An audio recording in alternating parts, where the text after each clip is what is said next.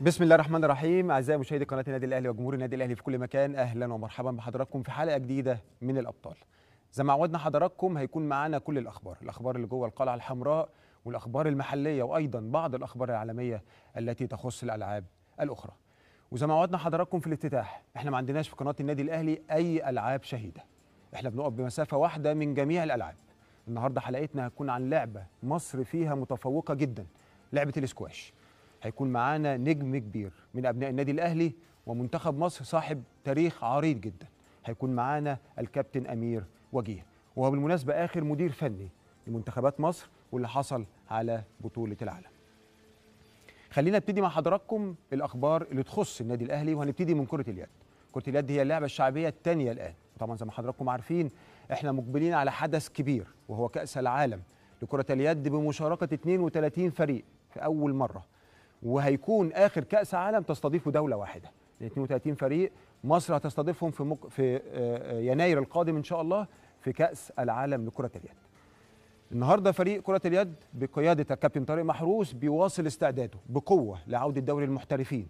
الحقيقة الحمد لله مفيش إصابات الفريق بيتمرن بشكل يومي الحمد لله رفع الأحمال البدنية بشكل جيد والحقيقة كابتن طارق محروس استعان بمعد بدني ومخطط أحمال.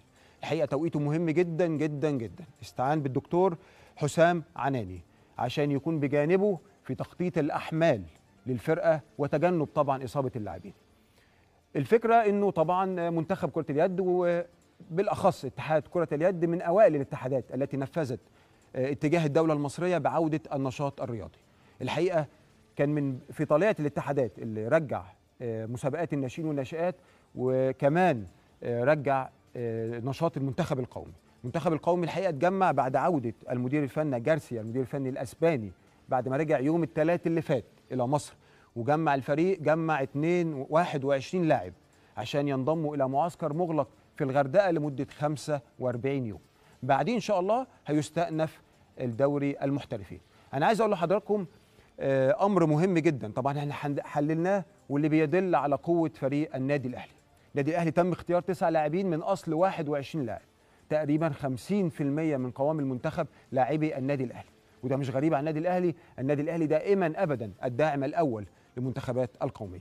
خليني أقول لحضراتكم أسامي اللاعبين اللي انضموا كان ليهم شرف الانضمام لمنتخب مصر كره اليد إسلام حسن إبراهيم المصري محسن رمضان أحمد عادل أحمد خيري عبد الرحمن فيصل عمر ياسين عمر عصام الطيار عبد الرحمن حميد.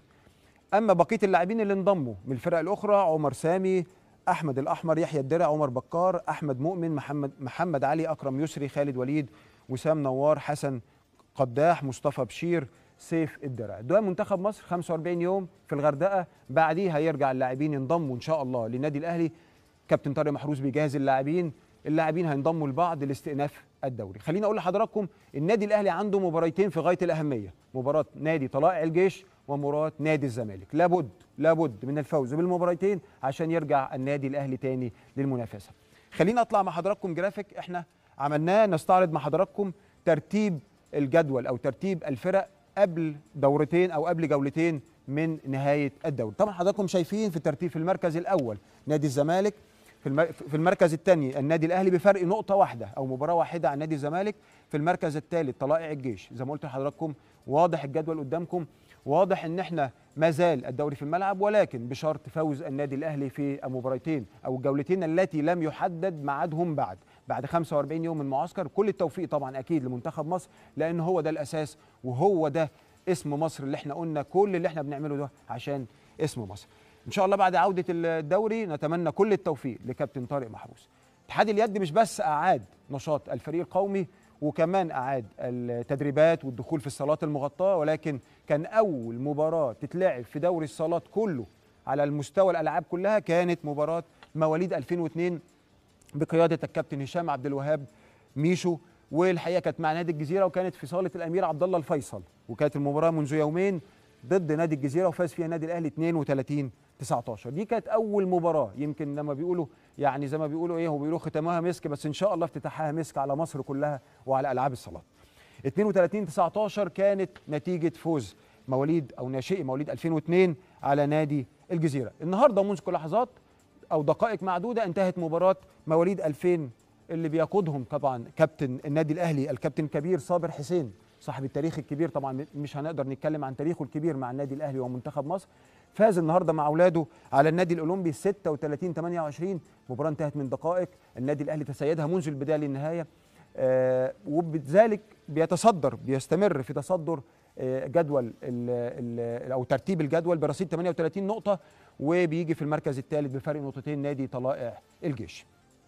خلينا اتنقل مع حضراتكم سريعا لكرة اليد سيدات.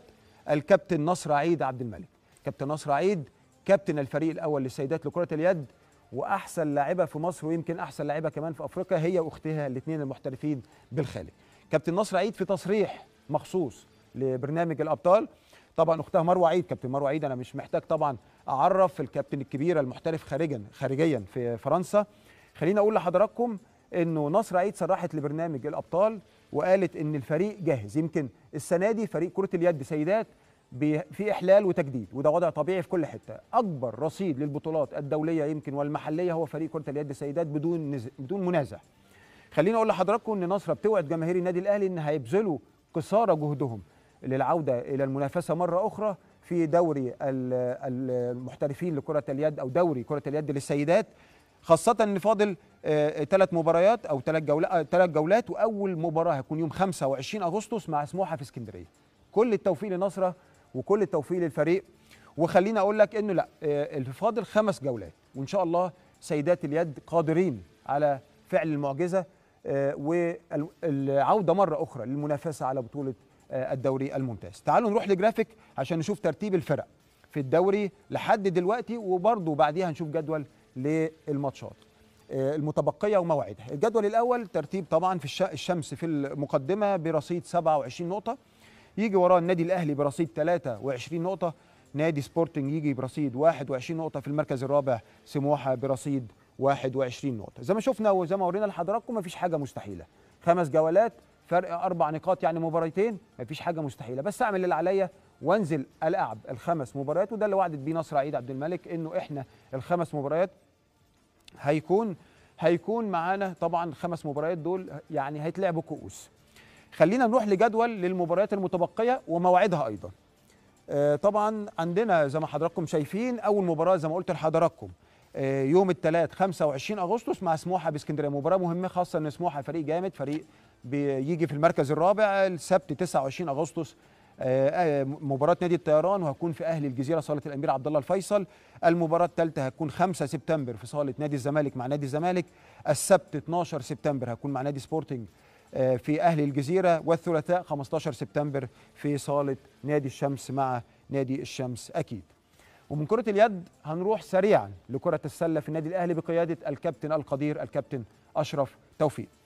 خلينا أقول لحضراتكم أن كرة السلة يمكن لعبة مهاراتها كتير لعبة صعبة لعبة يعني يعني عشان تعد فرقة وتوقفها على رجلها الموضوع بيبقى صعب شوية لأن لعبة غنية بالمهارات. كرة السلة معروف عنها كده. يمكن الكابتن أشرف توفيق ما زال حتى الآن بيرفع الأحمال بيمرن اللعيبة بيجهزهم حسب بروتوكول وزارة الشباب والرياضة. اللاعبين بدأوا التدريب من أول الشهر الجاري داخل الصالة المغطاة. طبعا الكابتن أشرف توفيق في تليفون الحقيقة كلمته بطمن على الفرقة قال لي إن عندي بعض الإصابات مش الإصابات الكبيرة ولكن إصابات عارف إحنا بنقول في عالم الرياضة كده إصابات ثقيلة شوية. إسبرين أنكل شد خفيف في الخلفية لبعض اللاعبين ألام بالظهر. إصابات بسيطة نتيجة طبعا الحمل التدريبي اللي بيحاول كابتن أشرف توفيق يوصل بيه لل top form للعيبة. خليني أقول لحضراتكم إن دوري وكاس كرة السلة ما زالوا في الملعب. النادي الأهلي عنده دور الأربعة مع فريق سبورتنج فريق سبورتنج يمكن كانت اهتزت نتائجه شوية الفترة اللي فاتت ولكن نادي سبورتنج بعد تدريبه أو بعد أن تولى مهمه تدريبه الكابتن وائل بدر اللي كان مساعد مدرب في نادي الزمالك. الفرقة بقى شكلها أحسن شوية بقت بتتمرن بقت جاهزة مباراة مش سهلة. مباراة هتكون في تاريخ 23 أغسطس. دي أولى مباراة فريق الفريق الأول لكرة السلة بقيادة الكابتن أشرف توفيق. مهم مهمة جدا هذه المباراة لأن المباراة دي مباراة كؤوس لا قدر الله إذا يعني اللي بيخسر بيودع البطولة. فدي أول مباراة لينا إن شاء الله. طيب الدوري موقفنا إيه؟ الدوري باختصار بيتلعب بنظام ال playoffs يعني الأدوار الإقصائية. بيلعبوا best of five اللي بيكسب ثلاث ماتشات من خمس ماتشات من أصل خمس ماتشات بيبقى هو اللي فاز بالمواجهة مع الفريق الآخر. النادي الأهلي بيلعب قبل النهائي مع نادي الجزيرة. النادي الأهلي قبل توقف آه، طبعا بعد انتشار جائحة كورونا قبل التوقف ده النادي الأهلي كان متصدر 2-1 وكان داخل على المباراة الرابعة مع نادي الجزيرة. إذا النادي الأهلي فاز بالمباراة الرابعة حسم الأمر وقضي الأمر والنادي الأهلي تأهل للنهائي. إذا لا قدر الله النادي الأهلي خسر من الجزيرة يبقى هنروح على مباراة فيصل المباراة الخامسة.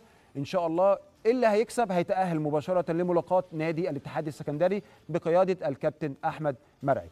آه، الاتحاد السكندري هو أول ال- الفرق آه، اللي تأهلت للنهائي. يعني دوري السله ما زال في أشده وما زال والكاس أيضا ما زال في أشده ومحتاج استعداد من شكل آه، من نوع معين. خلينا نروح لجدول نشوف آه، الماتشات المتبقية في الدوري أو كرة السلة وكمان مواعيدها خلينا نبتدي بمباريات آه، رجال كرة السلة أو دوري السوبر. آه، معانا على الشاشة طبعا يوم السبت 29 أغسطس عندنا في استاد القاهرة مباراة الجزيرة. استاد القاهرة هو ملعب نادي الجزيرة والمباراة ستقام على ملعب نادي الجزيرة. أنا عايز بس أقول لحضراتكم إن في نظام ال playoff أو ال offs أو ال- ال- ال- ال- المباريات الإقصائية بتلعب مباراة على ملعبك ومباراة على ملعب الخصم.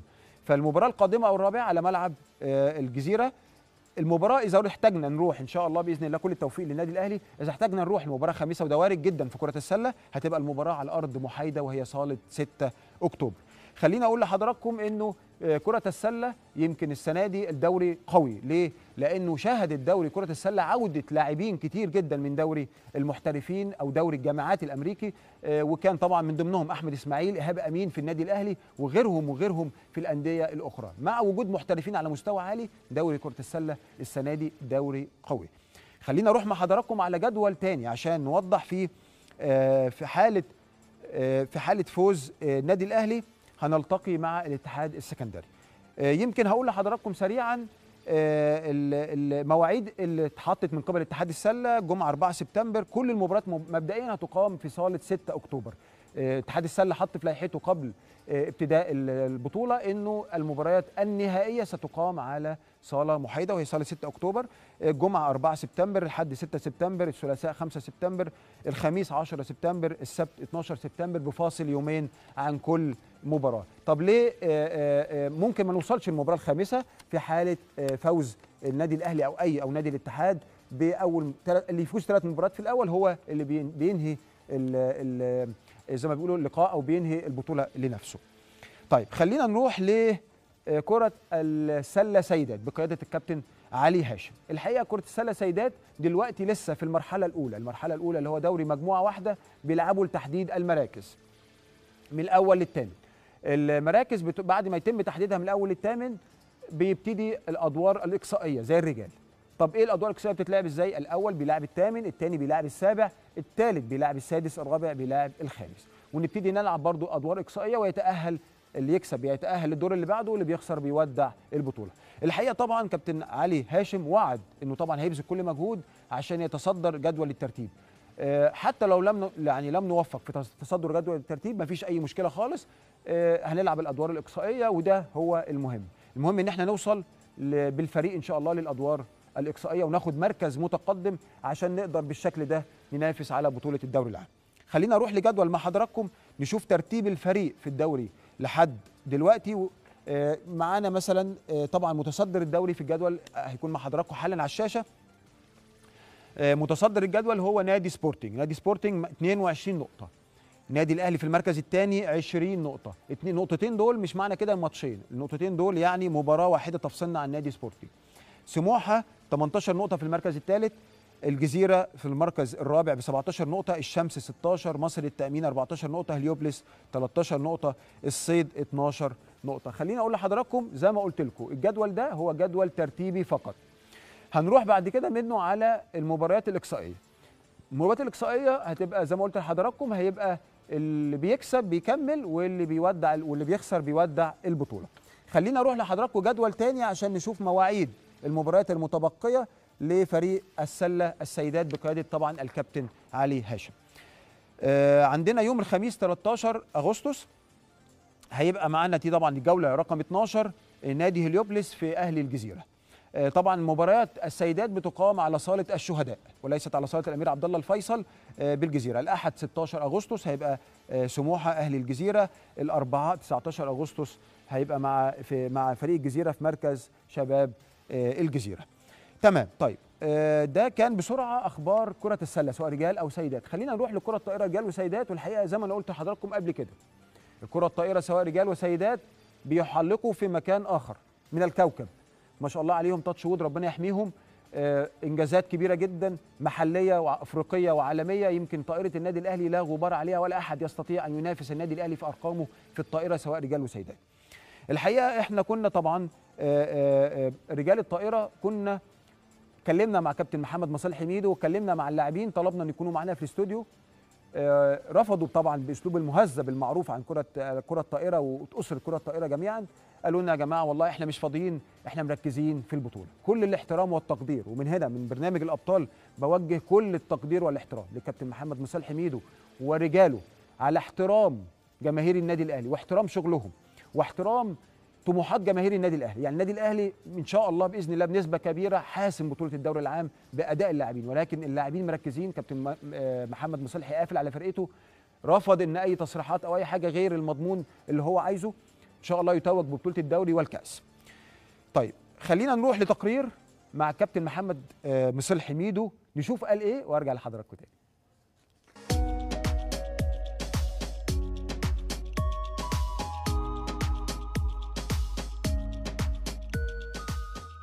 الدوري طبعا أو الدنيا كلها كانت واقفة لمدة ثلاث شهور ونص ودي كانت أول مرة تحصل في التاريخ يعني.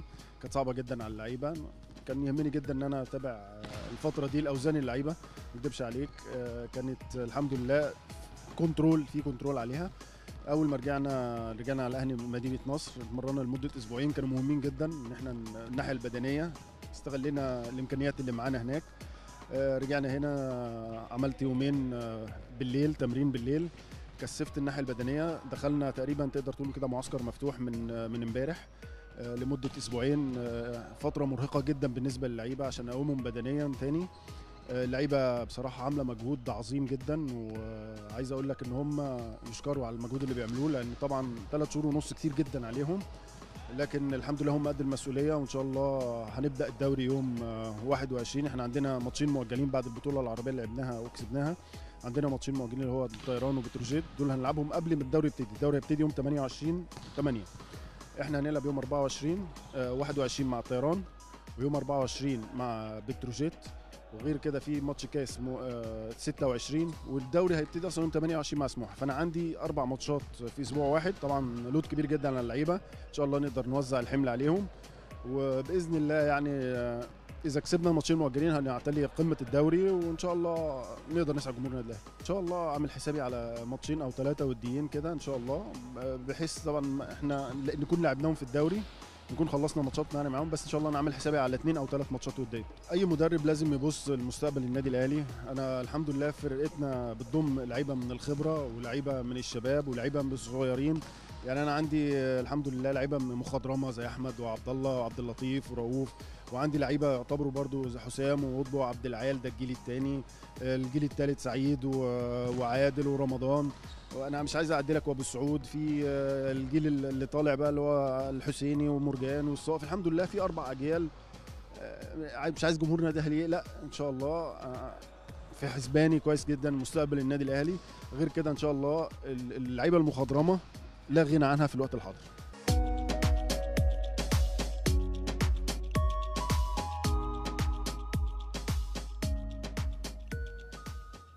الحقيقة كلام كابتن آه، ميدو آه، كلام الحقيقة بنتوقف عنده كثيرا لأن كابتن محمد مصلحي الحقيقة بيقدر وبيقدس العمل وبيقدس التمرين والراجل الحقيقة عارف حجم التحديات اللي عليه وح- وحجم آه، المسؤوليات اللي عليه. ونفس الكلام أكده معانا محمد معوض ليبرو الفريق. قال لنا في تصريحات خاصة لبرنامج الأبطال قال لنا إحنا لعيبة محترفة نقدر طموحات جمهور النادي الأهلي. وعارفين النادي الأهلي عايز منا إيه؟ النادي الأهلي في مطلع هذا العام فاز بالبطولة العربية.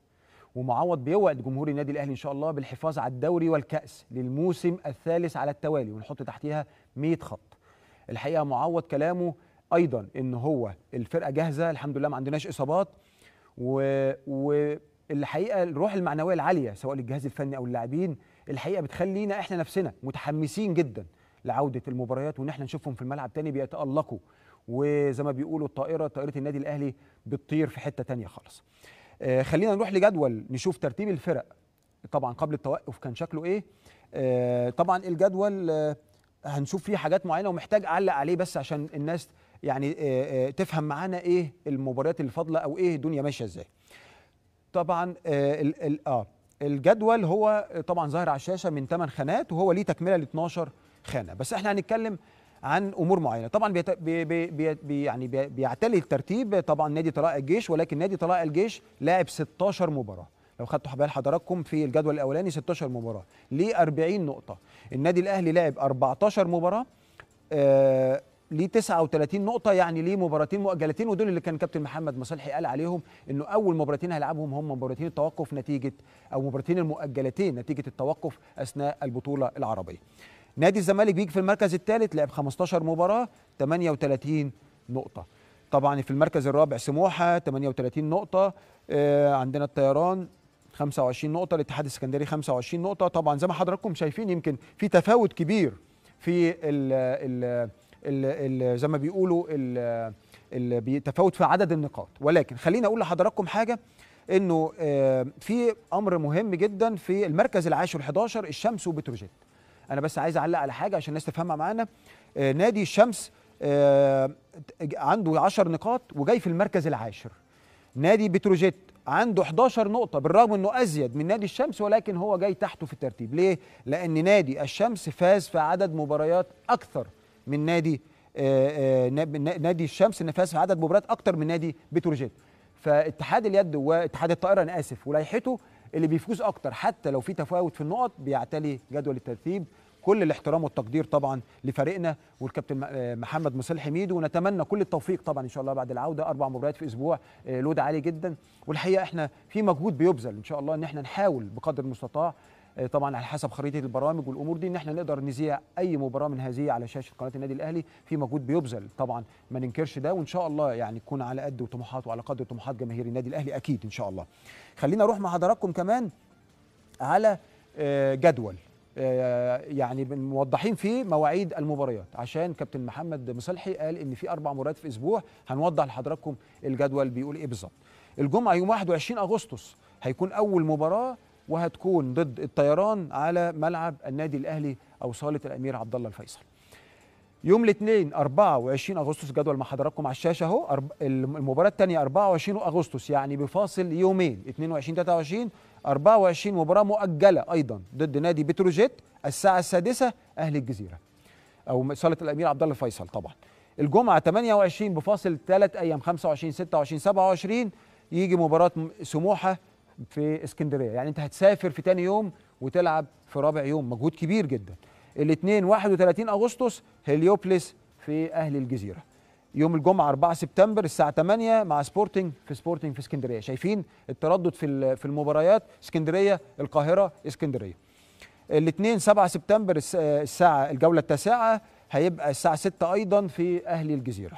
الجمعة 11 سبتمبر الجولة العاشرة مع نادي طلائع الجيش الساعة السادسة مع أهل الجزيرة. وتكون المباراة الأخيرة المباراة آه، أو الجولة الحادية عشر مع نادي الزمالك ولم تحد ولم يحدد موعدها بعد.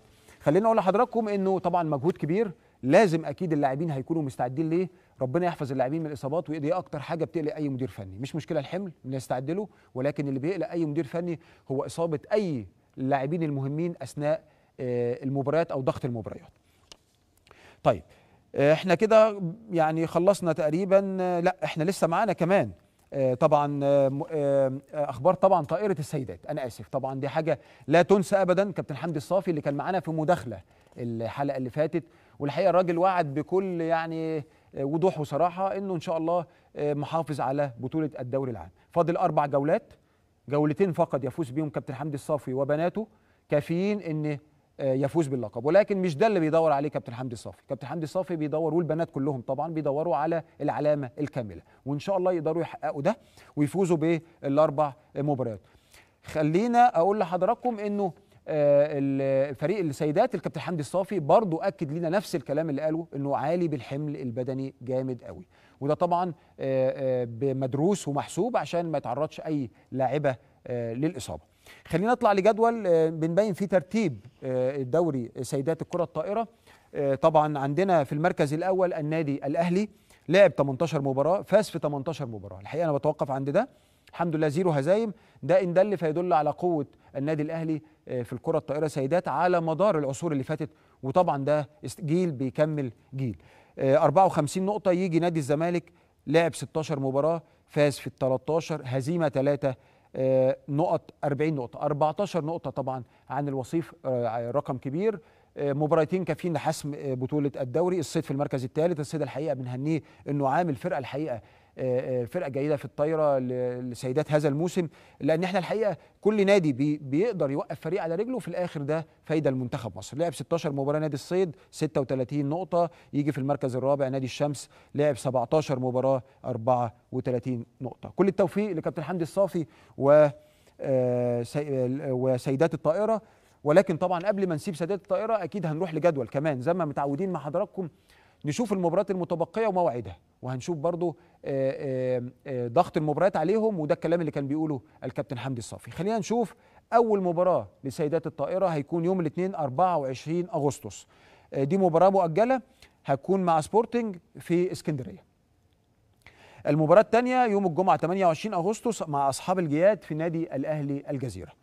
الاثنين 31 أغسطس آه، مع هليوبلس في هليوبلس الشروق. المباراة الرابعة الجمعة 11 سبتمبر مع الزمالك لم يحدد الملعب بعد. طبعا ده مجهود كبير جدا بيبذل في ألعاب الصالات في النادي الأهلي. خلينا أستكمل معاكم هذا المجهود وهذه الأخبار الحقيقة اللي ناس كتير منتظراها ولكن بعد الفاصل.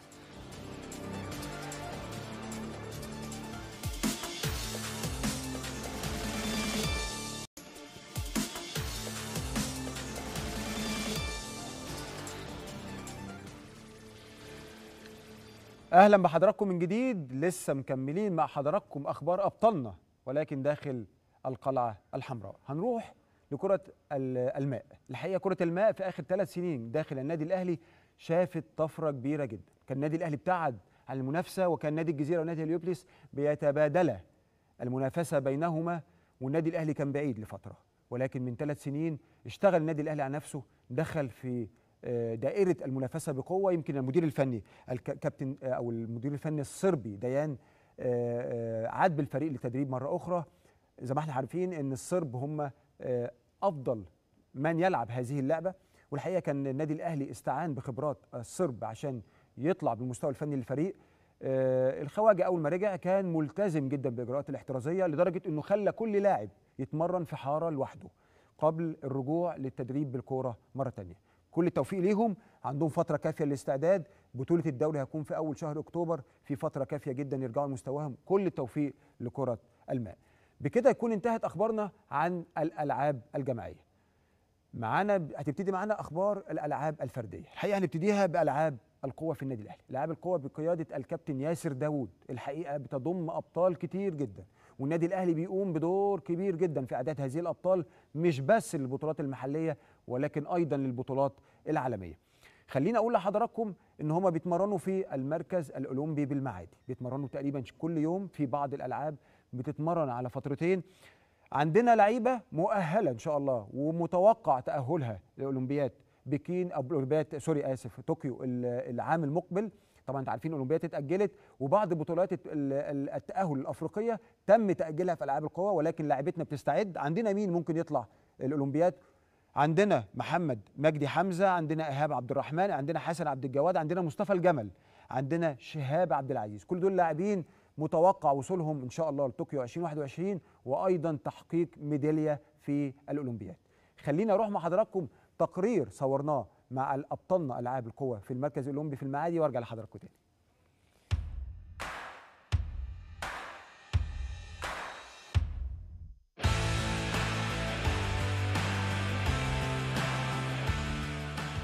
الحمد لله إن إحنا كنا واقفين بقالنا فترة كبيرة جدا من شهر ثلاثة إحنا كنا في معسكر في جنوب أفريقيا وكنا آه خلاص قربنا جدا على التأهيل. كان هنبدأ أول ماتش تأهيل يوم 24 رجعنا يوم 19 غصب عننا طبعا بسبب الطيران من ساعتها إحنا واقفين. آه الحمد لله إحنا رجعنا من أسبوع آه بدأنا تدريب ومكملين إن شاء الله لحين يعني الاتحاد يحط خطه النشاط المحلي. لكن طبيعي الهدف الأكبر بالنسبة لنا إن شاء الله السنة الجاية هي أولمبياد طوكيو إن شاء الله. هنا النادي مع الكابتن ياسر داوود رئيس الجهاز قسم اللعيبة بشكل منظم جدا وبشكل احترافي جدا بحيث إن يكون العدد آه، ما يكونش زيادة عن المسموح آه، طبقا لإجراءات النادي وإجراءات الدولة. آه، الحمد لله ألعاب قوة يعني تعتبر لعبة فردية غير تلامسية. هو دلوقتي إحنا يعني في مواعيد التمرين إحنا بقينا نتمرن في مواعيد مختلفة خالص. يعني كنا في الأول كلنا في نفس الوقت تقريبا حديد وكله دلوقتي بقى كل واحد لوحده. واللي بيخلص بيعاقب مطرحه عشان اللي جاي مكانه يعني. لا إحنا إن شاء الله يعني في النادي الأهلي بس إن شاء الله خمسة أو ستة بإذن الله يعني. إحنا هنقدر يعني يعني إحنا كلنا قريبين يعني. أنا موجود موجود في ال rank في تأهيل رقمي بس أنا متأهل لحد دلوقتي بال rank إن شاء الله يعني. إحنا لعبة يعني مش بتعتمد على اللياقة بس إحنا لياقة وحديد و fitness ورمي فطبعا كل ده مش هينفع يتعمل في البيت كبديل للتدريب في البيت. بس الحمد لله يعني قدرنا إن إحنا نحافظ بس على اللياقة بس هي دي النقطة يعني. وطبعا برضو بالنسبة للوزارة عملت لنا مسحة وقبل ما نبدا النشاط وطبعا ده شيء كويس جدا. إن شاء الله يعني بالنسبة لألعاب القوة يعني إن شاء الله ما بين ال 8 ل 12 لعيب إن شاء الله يكونوا متأهلين بإذن الله للأولمبياد.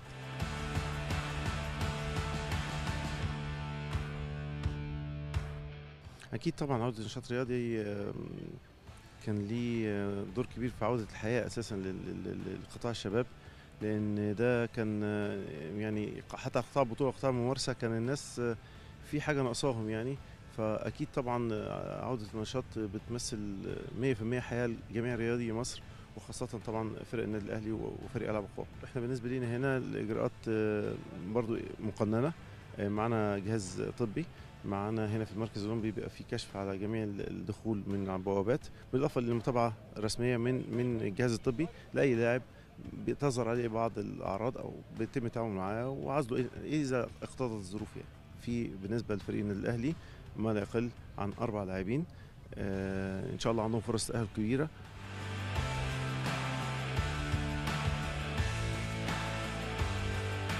إحنا كنا عاملين اعداد كويس جدا في الفترة اللي قبلها عشان الاولمبياد وكنا سافرنا معسكرات وكنا خلاص يعني كنا تقريبا تقريبا شبه خلاص إحنا استعدينا 100% آه، جت الفترة دي طبعا آه، هدت كل حاجة. بس إحنا حاولنا نحافظ على قد ما إحنا نقدر على قد التمرين في البيت على قد كده. والحمد لله دلوقتي الرجوع بالنسبة للرياضيين أكن الحياة رجعت بالظبط بعد ما الرياضة رجعت يعني. إحنا عندنا في النادي الأهلي عندنا لعيبة كتير كويسة جدا مصطفى الجمل حسن عبد الجواد محمد مجدي شهاب عبد العزيز الناس دي كلها. في أبطال كتير جوه النادي الأهلي يقدروا يتأهلوا. أعتقد جوه النادي الأهلي يتأهل أعتقد ممكن يتأهل مثلا خمسة أو سبعة تقريبا في العاب القوة يعني أعتقد يعني إن شاء الله.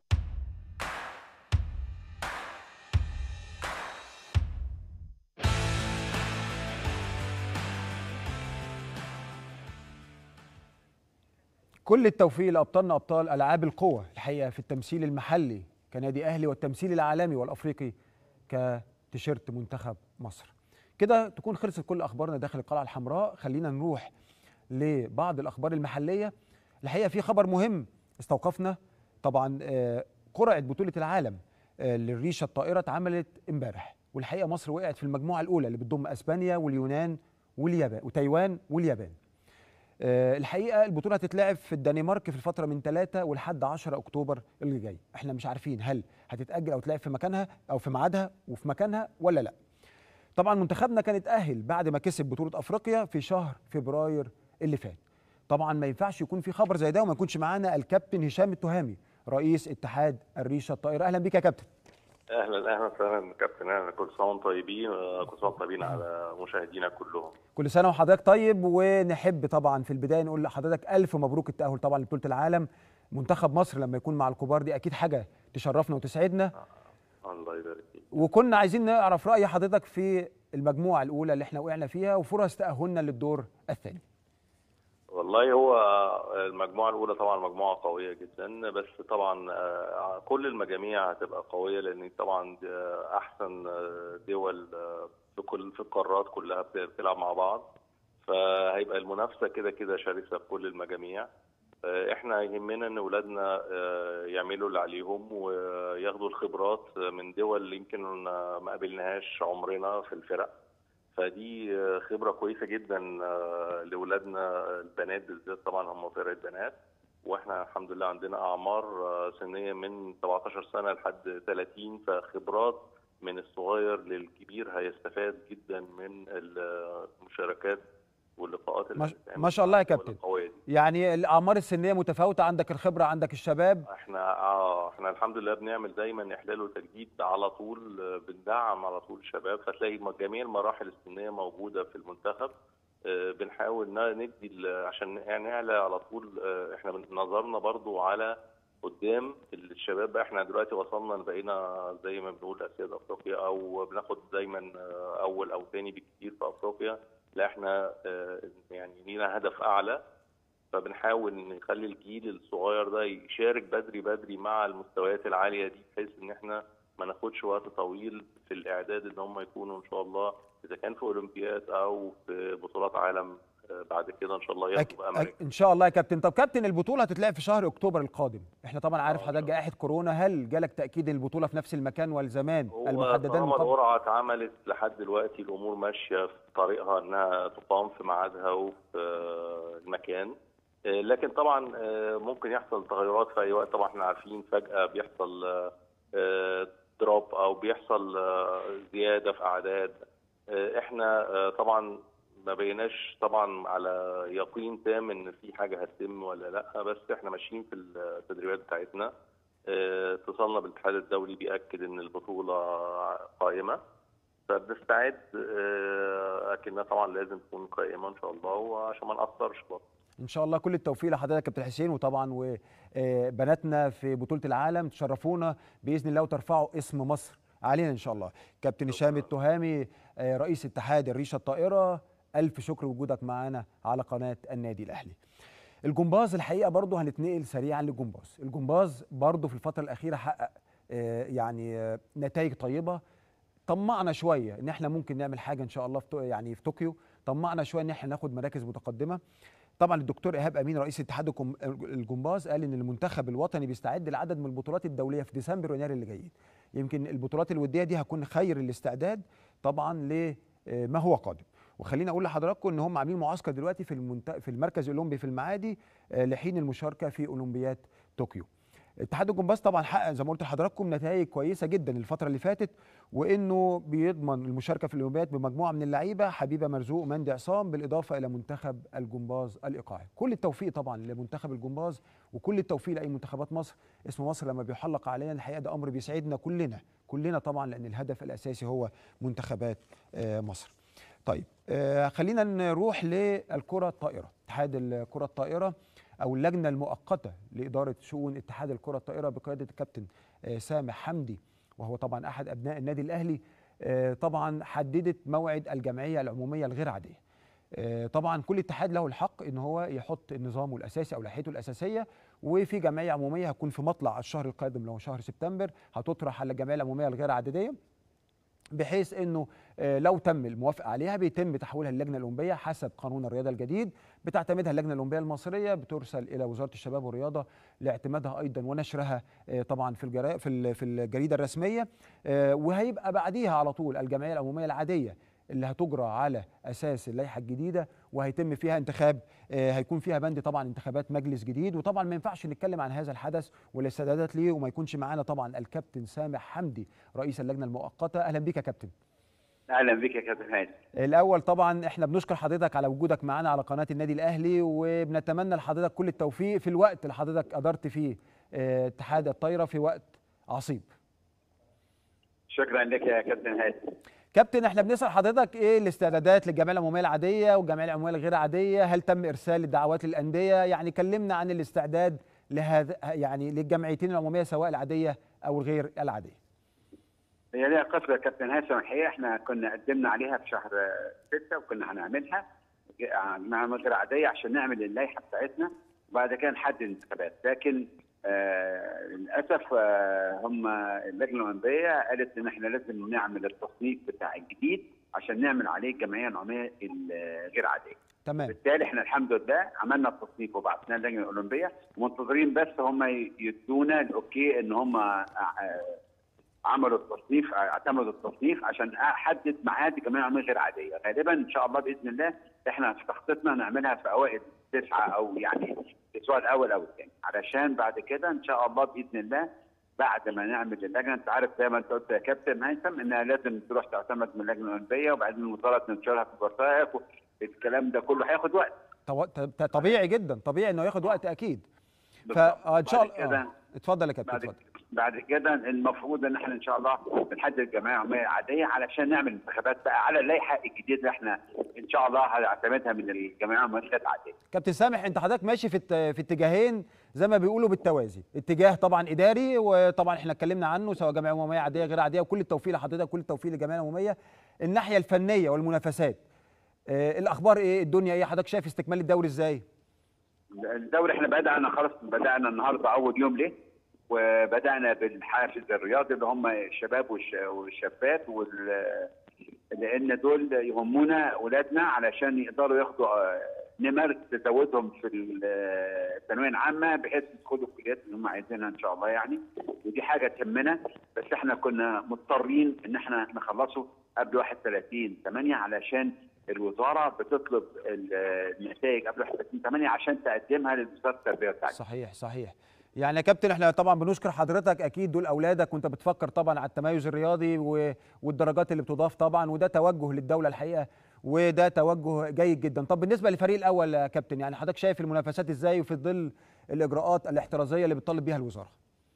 والله أنا بعذرهم لأن يعني قعدوا مدة طويلة ما فيش تدريبات وبس إحنا الحمد لله إديناهم فتره كافية يعني. هنبدأ الدوري بتاعنا يوم 21 تقريبا الشهر ده فخدوا فترة إعداد كافية يعني الحمد لله. وهنبدأ يوم 21 وإن شاء الله بنخلص آه، يعني آه، آخر شهر تسعة بإذن الله بنكون مخلصين كل البطولات بتاعتنا. علشان أنت عارف إحنا بعد كده كابتن هيثم عندي أربع بطولات آه، شباب وشابات وناشئين وناشئات بطولة إفريقيا مؤهلة لبطولة العالم. فلازم أبدأ أعد للمنتخبات بإذن الله من أول شهر 10 إن شاء لأن البطولات كلها في أواخر 11 و12 إن شاء الله. إن شاء الله كابتن سامح حمدي طبعا رئيس اللجنة المؤقتة لإدارة شؤون اتحاد كرة اليد. بشكر حضرتك. شكرا جزيلا على وجودك معانا. وكل التوفيق لكرة الطائرة وكل التوفيق لأسرة الكره الطائرة سواء محليا أو عالميا. أطلع فاصل مع حضراتكم سريع عشان أرجع أستقبل ضيفي. طبعا نجم الإسكواش نجم مصر المدير الفني يعني يمكن الأبرز في تاريخ الإسكواش الكابتن أمير وجيه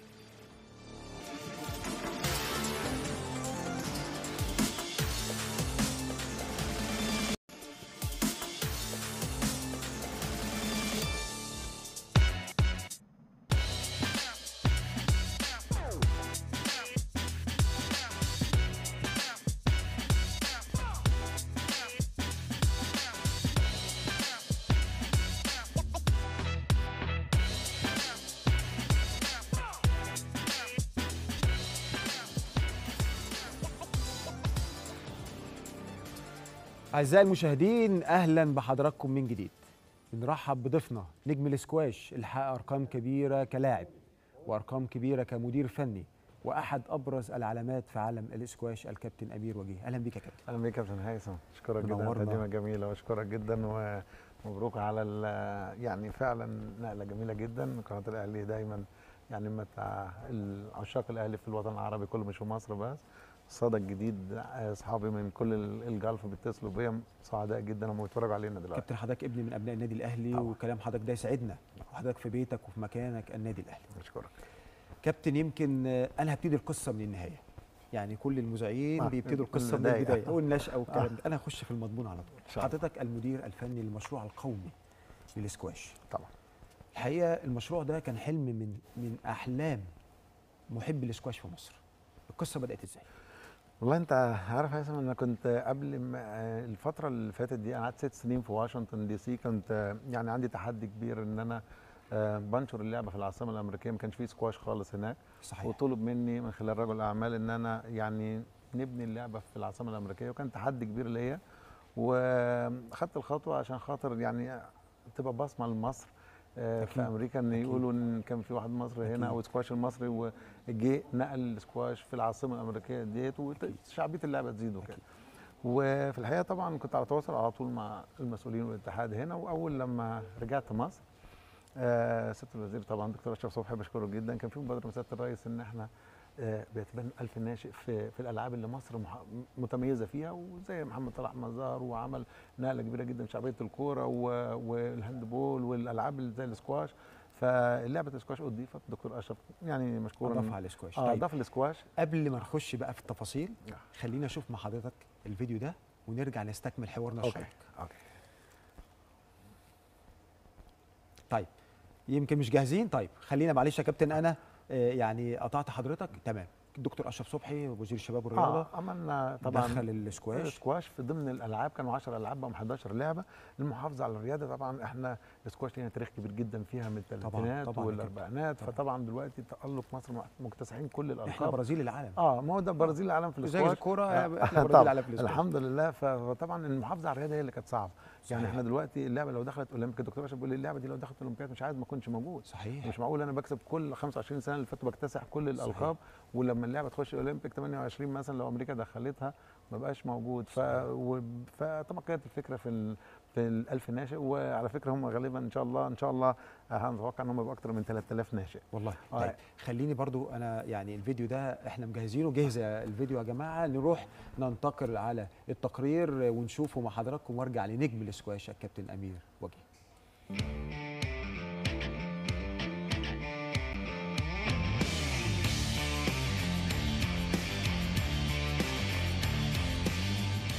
أمير وجيه هو أحد أساطير الإسكواش المصري فعبر مسيرته الحافلة بالإنجازات والبطولات والتي شهدت العديد من التحديات نجد أن وجيه عانق المجد واستطاع حفر اسمه بأحرف من نور في سجلات الإسكواش العالمي. أمير وجيه من مواليد الرابع والعشرين من أغسطس عام 1967 بدأ حياته ممارسا لرياضة كرة السلة في نادي طلعت حرب. قبل أن يجد ضالته في الاسكواش والتي بدأت في رحاب نادي التوفيقية قبل أن ينتقل لنادي الجزيرة وهو في الخامسة عشرة من عمره ليحصد مع الفريق القاهري سبع بطولات للجمهورية. ثم انتقل أمير الاسكواش المصري إلى النادي الأهلي ليحقق معه بطولة الجمهورية لموسمين متتاليين. ويمتلك وجيه الرقم القياسي لحصد بطولة الجمهورية بتسعة ألقاب. كما حقق مع الشياطين الحمر لقب البطولة العربية. وفي نفس التوقيت قاد منتخبنا الوطني الأول للرجال للفوز بأول بطولة عالم عام 1999 قبل أن يعتزل اللعبة عام 2001 واستطاع نجم الأهلي نقل خبراته الطويلة لزملائه داخل جدران القلعة الحمراء وهو ما ساعد المارد الأحمر في حصد خمس بطولات لفرد الرجال بواقع أربع بطولات لعمرو شبانة وبطولة لكريم عبد الجواد.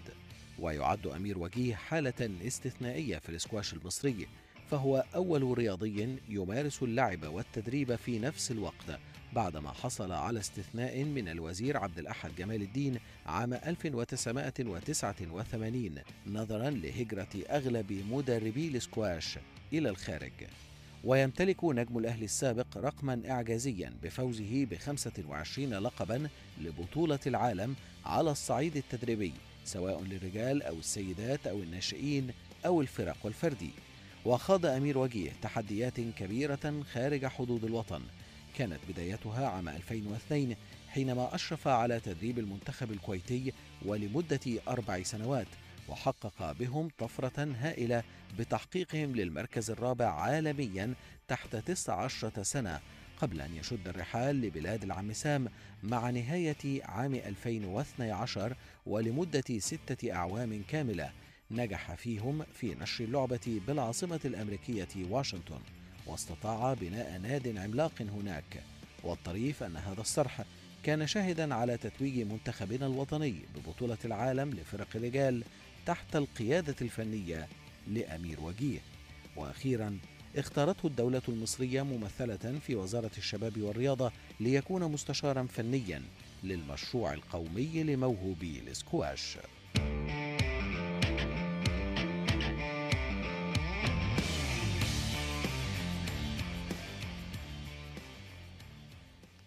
أهلا بحضراتكم من جديد. بنستكمل حوارنا مع أمير الاسكواش الكابتن أمير وجيه كابتن تاريخ كبير. أشكرك. هيثم يعني ذكريات جميلة جدا وكل الألقاب يعني المنتخب المصري يعني فعلا هو ال- الحمد لله صنع صحيح، اسم صحيح. أمير وجيه ولا- يعني دي حاجة بسيطة بنقدمها صحيح. لبلدنا الغاليه مصر. ده مش غريب على حضرتك؟ وأرجع تاني على موضوعنا الأساسي والمهم.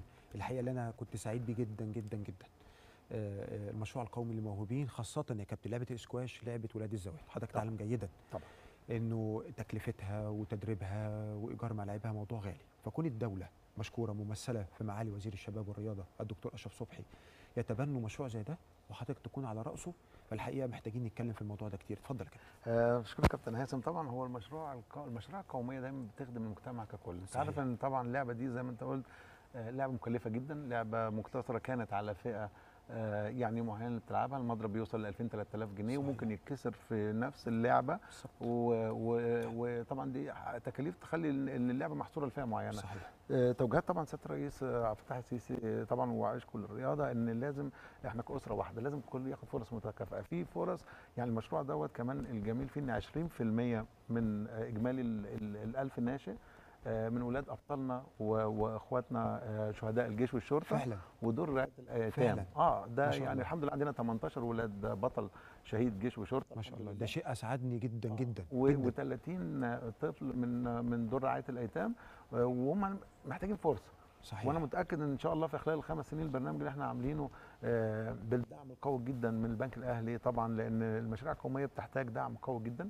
وطبعا البنك الأهلي دايما سباق في المشاريع القومية ودعمها. الدكتور هشام عكاش بشكره جدا رئيس مجلس الإدارة الرياضي وعاشق الاسكواش آه،. الدكتور يحيى أبو الفتوح. دعمونا بحيث إن ال- التدريب يبقى مجانا.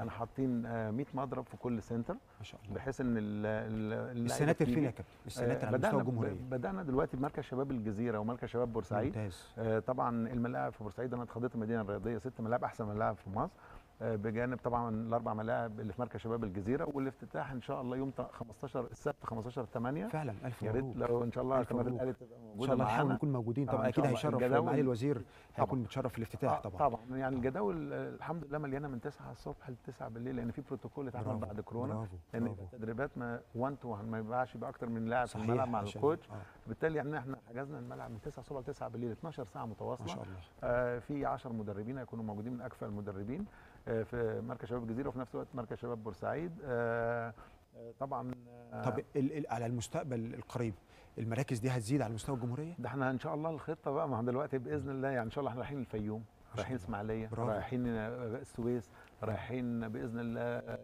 آه، مزيد الصعيد برافو الصعيد صعيد آه، مصر طبعاً يعني ده برافو عليك يعني أهلنا في الصعيد. يحتاجوا هذا المشروع جدا آه يعني إن شاء الله هو لعبه السكواش هتكون شعبية هو واللعبة هتبقى. متاحة للجميع صحيح. باذن الله عندنا دعم قوي جدا. آه، في سياده الوزير يعني بصراحة والكرو اللي معاه في الوزارة بشكرهم جدا جدا يعني اللجنة اللي معاه آه، أي حاجة يعني أكيد، بنطلبها أكيد. يعني ده مش غريب على بصراحه على طول آه، أكيد. يعني بتتحقق بسهولة. ويمكن لما الجداول اتعملت أنا كنت سعيد جدا لما شفت في 186 واحد مشاركين لغاية دلوقتي في بورسعيد في في في المشروع. وهنا الحمد لله لغاية دلوقتي 92 ولسه ما قفلناش. فإن شاء الله بإذن الله يعني آه، الم- المشروع قومي بالموهبة الاسكواش دوت الاسكواش الجديد. ده تمام ال- المستقبل. دوت إن شاء الله بإذن الله هنكمل. والجميل إن إحنا هيبقى فيه بقى طبعا ما بين مراكز الشباب دي كلها competition دوري competition آه طبعا دوري وهيشاركوا بالدوري باسم المشروع القومي وهنقدر. إن إحنا نسوق لاعبين هنقدر بنجيب لهم منح دراسية هنا وبره مصر ممتاز و- ممتاز يا يعني إن كابتن. شاء الله هيبقى في فرص متكاملة. حاجة مشرفة جدا آه، يا كابتن. وخلينا. نقول إن طبعا آه، يعني يسعدنا يكون معانا كمان آه، عبر السكايب آه، نجم من نجوم اللعبة. عبر التليفون أنا آسف نجم من نجوم اللعبة. أحد اللاعبين اللي شرفوا مصر. الكابتن كريم درويش. أهلا بيك يا كابتن. أنا كابتن. إزيك؟ إيه الأخبار؟ يعني أنت بصراحة يعني آه، منورنا على شاشه قناه النادي الأهلي وكمان يعني أنت تاريخ كبير جدا جدا. كريم ده يعني ليه معزة خاصة لأن أنا كنت بمرن أخوه الكبير الأول قصتي معاه. صحيح. وليد درويش كان من أبطال مصر تحت آه، 14 وكريم كان لسه بقى تحت 11 سنة وبيجي معاه فكنت. باخده كريم سامع. كلام آه، كابتن آه. امير عنك ولا لأ؟ أنتوا في قاعدين مع كابتن أمير وجيه؟ طبعا. امير وجيه ده هو يعني ليه فضل على على السوشيال المصري كله في آخر يمكن 25 سنة. ده بجد يعني مش عشان هو كان مدربي لمدة 10 سنين فأنا بقول كده بس لا ده فعلا هو يعني كابتن أمير. ليه فضل على السوشيال المصري يعني في آخر 20 25 سنة. ويمكن أعتقد هو أكتر واحد كسب بطولات عالم في تاريخ صحيح العالمي. صحيح. حوالي 20 بطولة عالم فدي حاجة يمكن مشرفة ل- لمصر. ويعني وأنا يمكن آه، يعني اكون متحيز جدا ان هو كان مدربي وهو اللي خلاني رقم واحد على العالم. يعني يعني كريم رقم واحد على العالم هو. فطبعا آه، بحييه وبشكره من خلال قناة النادي الأهلي. أنا سعيد جدا طبعا بالروح ودي مش غريبة على الاسكواش الاسكواش أسرته آه كلهم جمال الحقيقة وكلهم يعني بيقدروا الكبير. خليني أقول لك كابتن أنت مدير فني طبعا نادي وادي دجلة. والحقيقة يعني ما شاء الله لامم كل أبطال مصر الحقيقة عندك في وادي دجلة يعني.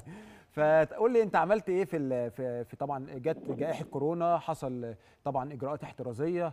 عملت إيه في القصة دي وازاي بتستعيد فورمة اللعيبة بسرعة؟ والله ال- الكورونا طبعا كانت كانت حاجة مفاجأة علينا كلنا في العالم كله في كل المجالات مش في الرياضة بس. طبعا كان لازم إن إحنا نتعامل معاها يعني بشكل ذكي شوية إن إحنا يعني ما نستعجلش في الر- في الرجوع للنشاط وإن إحنا ناخدها آه، بشكل تدريجي.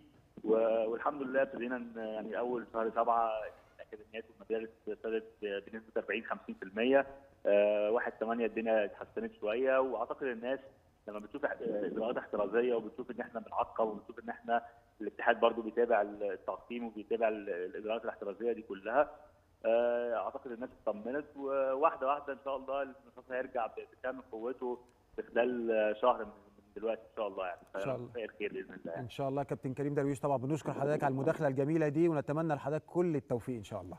يمكن كريم من اللعيبة الجمال اللي كانوا. قوي كريم آه. يعني بصراحة ليا معاه ذكريات كتير من الناشئين لغاية لما يمكن آخر بطولة كسبناها بطولة عالم كانت في ألمانيا في بادربورن وكان ليها قصة يعني جميلة جدا الماتش النهائي. آه كريم كان هو الماتش decided إن مصر تفوز أو لا وكان بيلعب مع جيمس ويلستروب وكان يمكن جيمس متفوق على كريم في آخر مثلا 17 مرة ورا بعض بس كان عنده ثقة جامدة جدا في كريم هو وكسب. فرق وكسب. لا لما بيلعب باسم مصر في الفرقة غير الفردي خالص. يعني آه، خسر أول أول شوط وبعدين بين الأشواط بكلمه بهديه نزل ما شاء الله يعني لا تايجر آه نزل خد الثلاث ما ورا خد- خلاص ال- آه خد يعني خلاص الجرعة دي من حضرتك. البطولات اللي ما انساهاش آه طبعا يعني. كانت في رمضان آه. وكان يعني فعلا آه، يعني ليها ذكريات إن جميلة شاء الله جدا أكيد وهنستعيد الذكريات دي بحضرتك وهنكمل حوارنا الشيق جدا مع أمير الإسكواش الكابتن أمير وجيه ولكن بعد الفاصل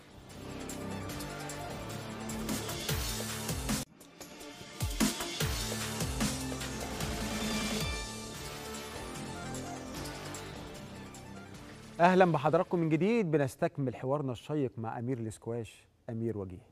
كابتن يمكن إحنا اتكلمنا عن المشروع القومي آه، طبعا لرعاية الموهوبين وقد إيه ده مشروع قومي الحقيقة طبعا آه، آه، اتجاه الدولة المصرية اللي هو العدالة وكل حاجة. إحنا عايزين ننتقل على تجربتك في أمريكا. يمكن قضيت ست سنوات في واشنطن. مظبوط أسست لعبة الاسكواش كلمنا عن هذه التجربة.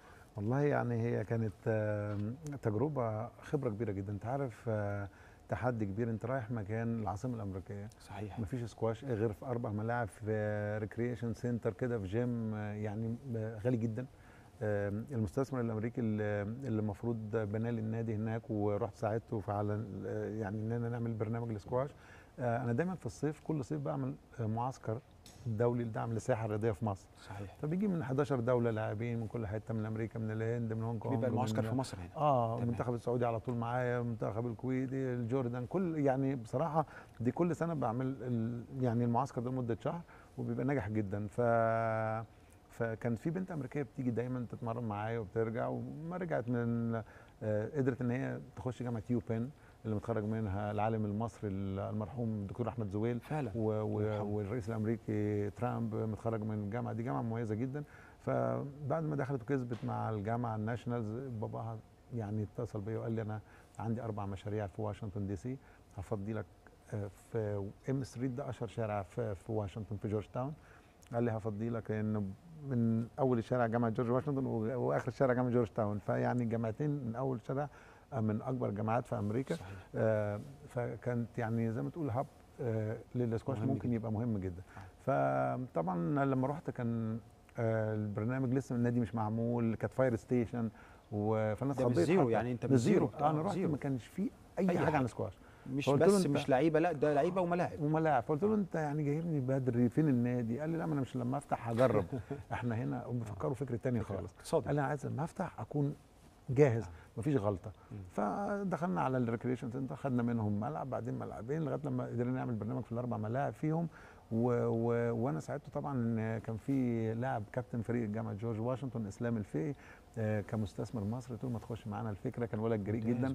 راح دخل وحط مبلغ قوي. الراجل بعديها خد card مثلا 4 مليون. والمهم النادي الحمد لله لما اتبنى بقى أحسن نظام متكامل من electronic system للحجز للدفع لل.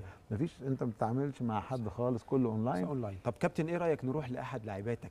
آه كابتن يثرب عادل طبعا لاعيبة النادي الأهلي ونجمة مصر. أهلا بيك يا كابتن.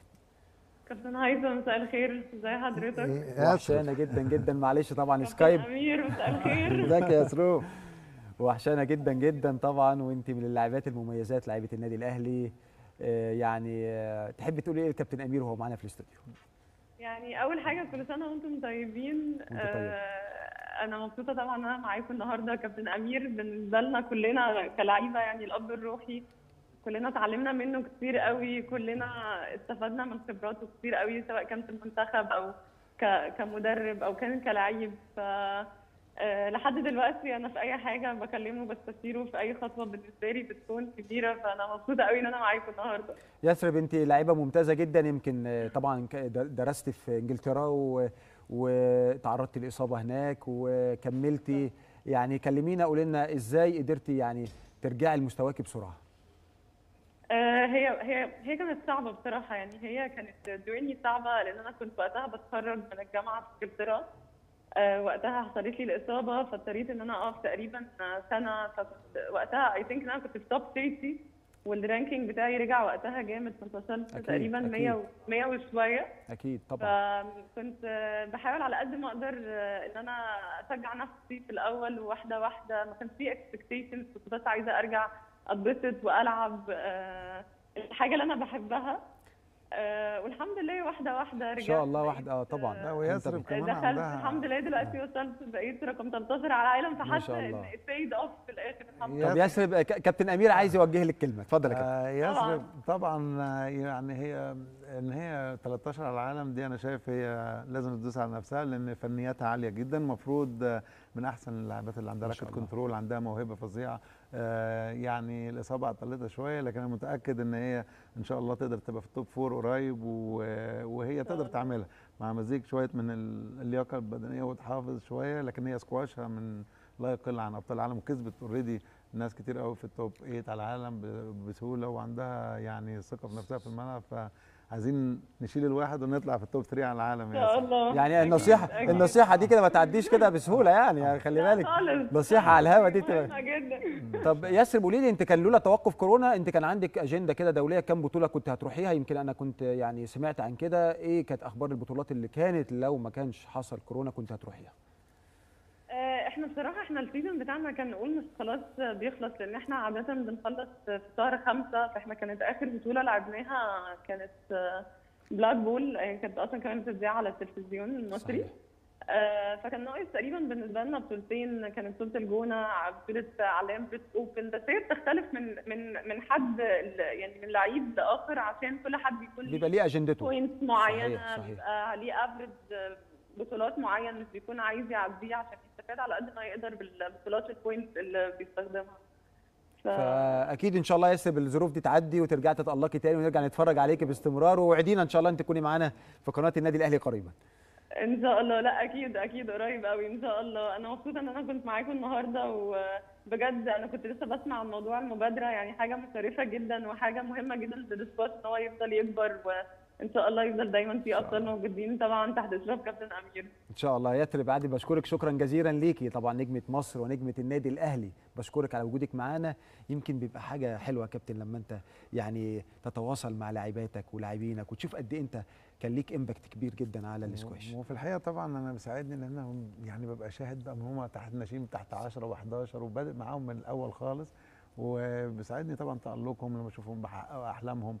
سواء آه، بطولات عالمية تعليم في أحسن جامعات في العالم وصولهم آه، بيرجعوا مصر بإضافة جديدة بيدوا خبرة الروح الحلوة اللي ما بينهم يعني دي آه. بتخليني إن أنا بحس إن أنا يعني الحمد لله قدرت آه، أعمل حاجة ولسه قدامك كتير يا كابتن لا ده إحنا لسه ما عملناش يعني حاجة هنعمل لا. حاجات حلوة في في إن شاء الله في المشروع القومي لما ينتقل. المحافظات. كلها هتكون حاجة يعني نقلة جديدة للسكواش ان هو يبقى. لعبة شعبية وإحنا هنسبورت الكلام ده وهنقف جنبكم وهنبقى معاكم إن شاء الله لأن إحنا برنامج الأبطال واللي أنتم بتعملوه ده أكيد هيطلع أبطال ده فأكيد جزء هنكون معاكم. من من بقى يعني النادي الأهلي لازم يعني من غير حضرتك ما تفكر على طول الرياضة. المصرية إحنا. كبرنامج وكقناة الأهلي أكيد هندعم الله يعني نرجع تاني لتجربة حضرتك مع واشنطن آه، يمكن استخدمت مدربين مصريين كتير طبعاً. كلمني عن التجربة اديت اديت فرص كتير طبعا يمكن كان معايا في النادي ال- جبت coach كان في الهند ست سنين عمر المليجي وبعدين طول ما اتغير يعني تحاول آه. تيجي أمريكا في فرص career تيجي معانا، آه. آه، حط خبرة كبيرة جدا. كنت بمرن طبعا آه، جامعة جورج تاون دي جامعة كبيرة جدا كبيرة و- جداً طبعاً. ومعظم المدارس ال high school في أمريكا كلها ما شاء الله. آه، اللي في سوري في واشنطن كان تحت البرنامج بتاعي أنا رحت هناك وشفت. طبعا المنظر يعني فدي قالوا لي كانت- كابتن كريم آه. كابتن أمير عامل شغل كبير جدا في واشنطن. كانت كان نفسي أشوفه بنفسي كانت والله نقله جميلة. وبرده كان اللي بيساعدني إن أنا كنت الاب رايح يمكن أكتر من 30 طالب مصري بيدرسوا في. في جامعة جورج واشنطن أو برافو، جورج تاون أي برافو. حد بيجي لازم أنا طبعاً أبقى- الهب اللي آه، بيجي ينزل يعني عليه. امشي في الشارع فهناك ما. فيش يعني كل حد دي بتدي يعني خلتني شفتهم لما اتخرجوا لما رجعوا يعني بصراحة كلهم يعني خبرات كبيرة جدا أكيد لمصر أكيد بتيجي أكيد مصر كمان اسمه مصر لما يبقى طبعاً. في العاصمة واشنطن الحقيقة ده بيبقى أكبر آه، دليل على تفوق مصر في اللعبة. طيب كابتن أرجع معاك. أنا زي ما قلت لحضرتك أنا ماشي نمطي شوية آه.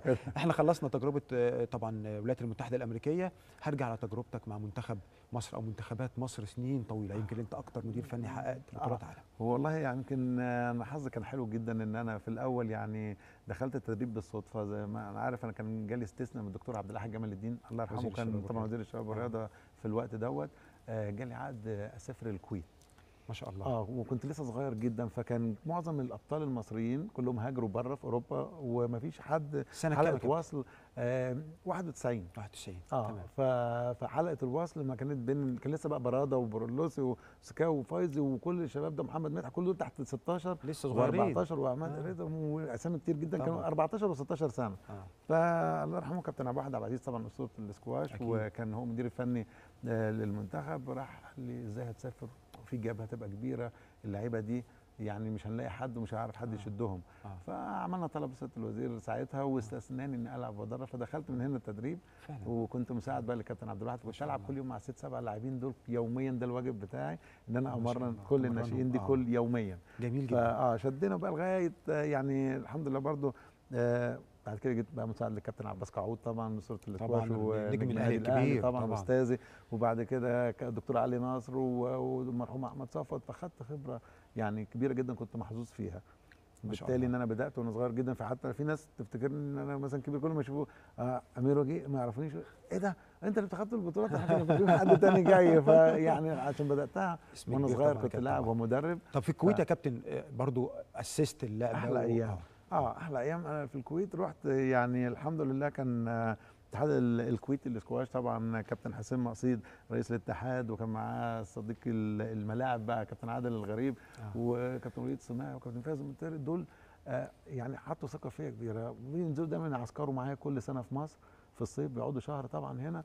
فقالوا لي ما تيجي معانا عايزين نروح حتة تانية عايزين نوصل للعالميه آه فكان يعني ترتيب عليت الف- طموحات طبعا الأشقاء ال- الكو- في الكويت عليت الطموحات إن هم ده كان التصنيف بتاع الفريق للناشئين تحت 19 سنة نمرة 27 27 من 29 دولة. آه ما شاء الله. خلال سنتين ده طلعنا كان في. الأول لا ده كان آه، في الأول. طلعنا الرابع آه. على العالم. ما شاء الله. كان عندهم مواهب يعني عبد الله مزين ده في مواهب بتبقى في حتت آه، زي ميسي ورونالدو لا يقل عن شبانه و و صحيح، ورامي عاشور. وكده في الموهبة فظيع. حتى بطولة العالم اللي فاتت كسب كل ماتشاته حتى لو هم بيلعبوا في الجروب اللي تحت فعلا. غلب ناس. موهوب فظيع. فالحمد لله كان هو علي الرمزي وسلمان الخميس وعمار اتمام يعني وسالم وفلاح. كان عندي مجموعة سبع ناشئين مركز عليهم وناصر رمزي.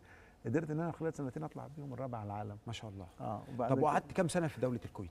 آه آه ثلاثة ونص بالظبط. ثلاث سنين آه ونص. ثلاث سنين بالظبط. وعملت معاهم آه. الطفره دي ما شاء الله. وصلوا- وبعد آه. كده ده بي- سيادة الوزير ده المهندس حسن صقر آه. كان في زيارة رئيس جهاز. الرياضة. آه كان ساعتها آه. وزير الشباب والرياضه جه زيارة للكويت.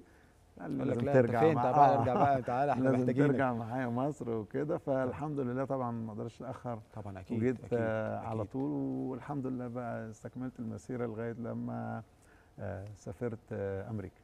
طيب خلينا نرجع طيب الصورة دي يا كابتن اللي معروضة آه، يعني صورة آه، يعني ميسي دي إحنا آه آه. طيب إحنا عايزين نعرف قصتها إيه؟ هقول لك القصة بقى دي. كل سنة في دورة رباعية بتتعمل في واشنطن دي سي بتيجي ال- الأرجنتين والإكوادور وبلاد من. South America. صحيح. أنا ماشي في الجيم في النادي وبعدين ببص لقيت آه، ميسي جويرو آه، هيجوين لا جماعة- بسيطة. آه إيه لا بسيطة. جماعة؟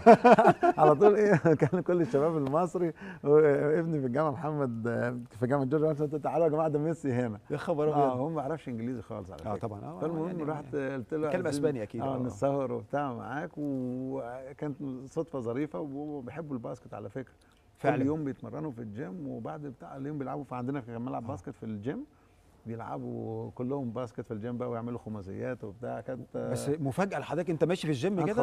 ده ميسي. آه ما ده على طول وبتاع. يعني لقيت ميسي بعدين ما يخش برضه وأنا في changing room كله بقى. كان تيفيز معاهم وجويرو وكل المنتخب يا كابتن طب اعملوا. تقسيمة كده خمسة خمسة يا كابتن بسرعة بقى كل آه، الناس بتلعب تلعب كورة لا، لا بس- صورة طريفة جدا يا آه كابتن كانت جميلة جدا. وكان وقت حلو قعدوا معانا أسبوع تقريبا فكل. يوم بقى معاه بس أنت في الأول لعبت basket يا. كابتن خلي بالك برضه آه، يعني أنت آه، لما تنزل تلعب معاهم.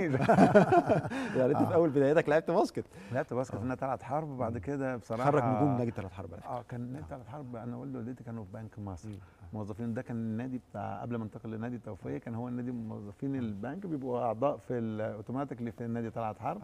فبدأت فيه طبعا و كده غيرت بعد كده رحت نادي التوفيقية. آه قدام البيت على طول. النادي. كان جميل جدا. very unique ويمكن كل أبطال التنس طلعوا منه. أبطال السكواش زمان يعني من أبطال التنس كابتن عمرو توفيق طلع وباسل رحمي وتامر رحمي وشهير توفيق طب كابتن طبعا. خليني أسأل حضرتك سؤال. آه. كل واحد في حياته بيبقى فيه لحظة آه، صعبة. مش لحظاتك المشرفة كتير ولكن اللحظة الصعبة أكتر لحظة صعبة في حياتك مريت بيها ومش ناسيها لغاية دلوقتي. هو الإصابات. الإصابات. آه أنا مرة يعني إن شاء الله الحمد لله الحمد لله يعني الحمد لله ربنا بعد الإصابات كان جالي ديسك. آه إصابة صعبة. ودكتور عبد الله جمال مشكورا سفرني ألمانيا اتعالج آه، تعالى بقى. وبالصدفة يعني اللي هون عليا هناك وأنا كنت يعني بعمل فترة طويلة قاعد. كان حجازي جه برضه يعمل عملية. آه وبعدين كنت بروح سليتوا بعض آه بقى. نسلي بعض. وكابتن محمود الخطيب موقف ظريف حصل. كابتن محمود الخطيب جه عشان فعلا. خاطر بيزور الأستاذ إبراهيم.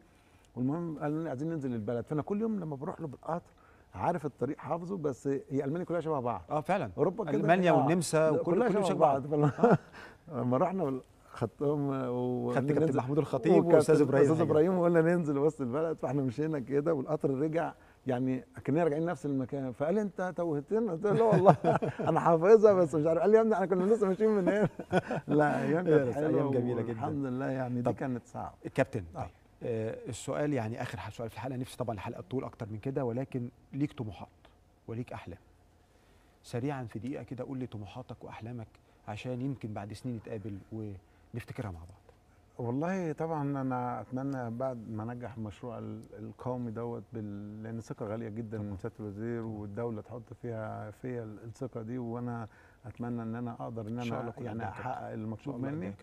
طبعا إن شاء الله رئاسة الاتحاد يعني دي خطوة أنا شايف إن هي جاية جاية. ويعني إن شاء الله إن أنا أكون رئيس اتحاد عشان عندي أفكار وعندي طموحات إن اخد اللعبة في حتة تانية خالص. إن شاء الله بإذن الله. إن شاء الله ان شاء كابتن. الله المرة الجاية نتقابل وأنا رئيس اتحاد إن شاء الله يا كابتن. وربنا يحقق لك كل أحلامك. أشكرك. زي ما كنت سبب في تحقيق أحلام لعيبة كتير وناس مدربين ربنا يحقق لك احلامك دايما بشكرك يا كابتن. هيثم ويعني إن شاء الله نتمنى لينا لقاء بقى في الملعب بقى. أكيد إن شاء الله وبشكر حضرتك طبعا بشكر. حضرتك وأكيد هنكون سبورت لحضرتك وبشكرك جدا جدا على تواجدك معايا ونورت قناة النادي الأهلي. النادي إن شاء الله الأهلي دايما في العالي والرياضة المصرية كلها بإذن الله أعزائي المشاهدين استمتعت بهذا اللقاء مع أمير الاسكواش الكابتن أمير وجيه وأتمنى طبعا إن حضراتكم تكونوا استمتعتم معايا إلى لقاء جديد إن شاء الله مع برنامج الأبطال وقصة بطل جديد. شكرا جزيلا.